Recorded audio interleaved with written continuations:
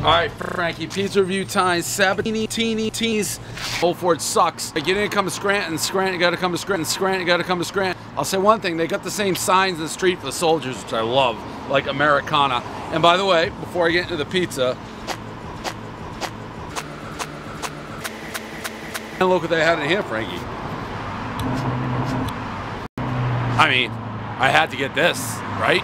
Just straight triple flamingo a flamingo fruit fight. I'll give that a shot at the end. Um, so Sabatini's place is, well, this place is big, and then they have right across the street a gigantic. So uh, one bite, everybody knows the rules. See what we got.